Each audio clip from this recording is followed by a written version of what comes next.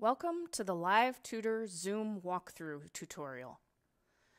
To start, you're going to want to make sure that you're logged into eTutoring. Next, make sure you click on the Clock In button.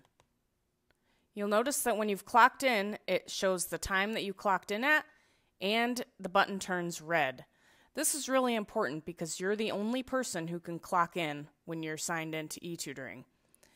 The clock in and clock out buttons are how your coordinators tell when you logged in and when you logged out of the site. In other words, they're used to tell when you're working and when you're not. Next, click on Live Tutoring. And then you'll come to your online tutoring session page. Now, it's important to note here that each session has a date, a time, its own unique Zoom link, and a link that says Start Zoom Meeting. You're going to want to go to the link for the meeting that you actually want to start, make sure the times and the dates are correct, and click on that. Now, as you can see, this opens Zooms up. Hopefully by now you've already downloaded the Zoom app, so you can click Allow here. When you do that, you should see this screen. Now, hopefully this doesn't throw you. Ignore the start 3:15 a.m. time. That's the actually the time that your meeting was created. This also might say 12:15 or 1:15 or whatever, but you can ignore that. The important part is that the time next to your name, which is where synchronous T is right now, matches and the date matches. It also says if you are the host, sign in to start this meeting. Well, you are the host. So the first thing you have to do here is sign in. And this is the email address your tutor account on eTutoring Online was created with. It's very important that you sign in to Zoom with the same account. Then click on Sign In. And then you'll notice that this screen pops up. So the first thing that you want to do is click on Share. And then I'm going to share my whiteboard because I'm definitely going to show you some of those features today and then click on share. I'm going to move things around a little bit because this doesn't really suit my setup here. Okay, so as you can see, I've got the whiteboard out now, but it's not really optimized for the experience. So I'm going to go ahead and extend this, and you can just click and grab these things, which is great, and move them around. Okay, and I also want to make sure that my participants panel and my chat panel are showing. So I'm going to open my chat panel and my participants panel. You can put these basically wherever you want.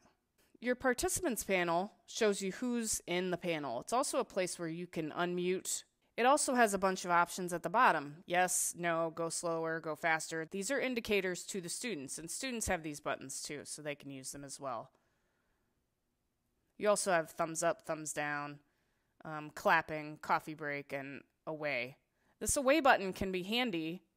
If you click on it, it will show students when they come in that you're away. Just make sure that when you come back, you clear it. And you can do that by clicking on clear all in the corner here.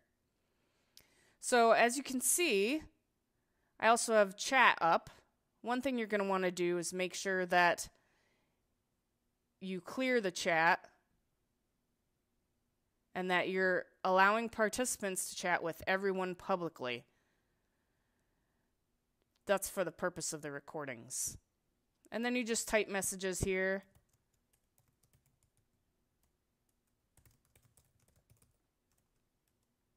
Hit enter, and they pop into the group chat. If you're working with a student on the whiteboard, the first thing you want to do is go down to More and make sure that you click on Enable Annotation. What this does is allows the student to also use all of these tools up here. If you don't do that, they can't use the tools and only you can. So make sure you do that right away if you're using the whiteboard. And if it says disable attendee annotation, that means you already have it on, so you don't need to do anything in that case. Now, one of the more complicated things that you're going to be using in the Zoom room is the whiteboard, which is this entire space. And it's the first thing that I opened up. You can write text. You can draw, and you can draw with any number of things. The squiggly line is a pencil that lets you draw for yourself. There's a line tool. And notice that the color here, you can change that and it's a, it applies to the next item that you draw. Draw a filled rectangle, a shaded rectangle, etc. So those are all the shapes that you can do. Stamps are handy for pointing things out to students, like, yes, that's right. Or, no, we need to do more work on that part.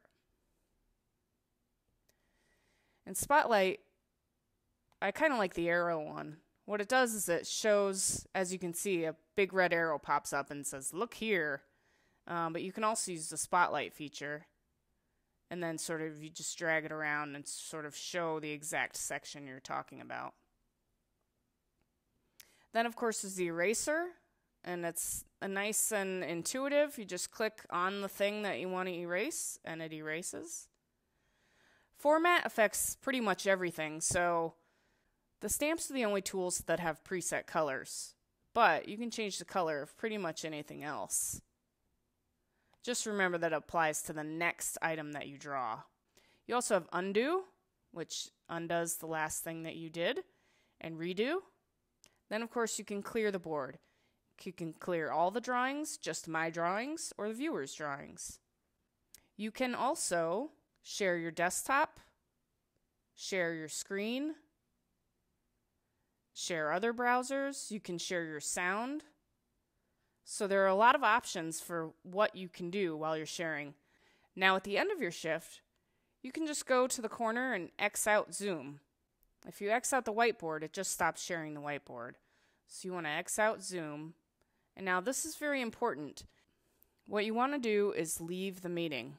You don't really want to end meeting for all. The reason for that is if for any reason on the same day you need to come back into your Zoom room and have students work with you, if you say end meeting for all, the link won't work. The same meeting that you worked with students in previously in the day won't open again. So, but I think that the safest option here, therefore, is leave meeting. Then it will close out. You'll get back to your initial Zoom screen. You can X out and then you want to make sure you return to eTutoring. It's helpful if you have multiple tabs open. When you're done, you're going to want to make sure that you click on Clock Out before you log out, and then click on Log Out.